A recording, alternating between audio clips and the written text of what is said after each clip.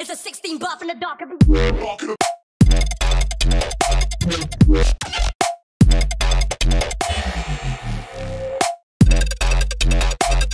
Yeah.